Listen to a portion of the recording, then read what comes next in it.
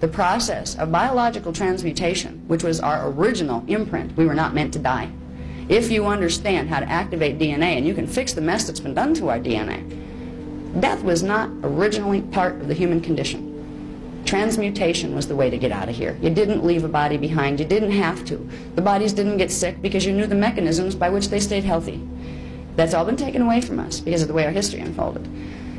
The indigos are bringing back our heritage. They're bringing back the knowledge.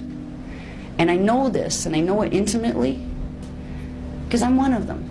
I'm one of the indigos. There's three types we'll talk about later. I'm a type 1. And I'm not the only one. There's 350 like me right now, and there's like uh, 2,500,000 of type 3. So there's a lot of indigos here already.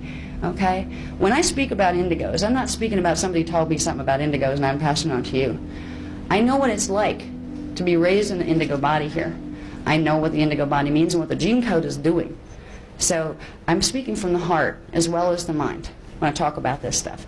We need to understand how our DNA functions. If we're going to understand how the DNA of the indigos differs from that of human, why they are considered, even though they birthed through human bodies, why, you know, through human parents, why they are considered literally a hybrid ET race. There is a distinct difference in their gene code. And I've done diagrams in these chart packs to show you that difference because it becomes really apparent when you, when you have the spatial relationships and the visual diagrams.